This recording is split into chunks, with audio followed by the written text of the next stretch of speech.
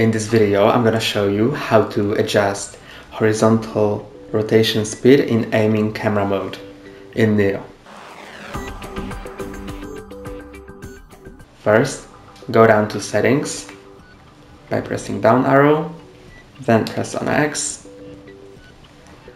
go down to camera settings, press on X, then go down to horizontal rotation speed and use right or left arrow to adjust it.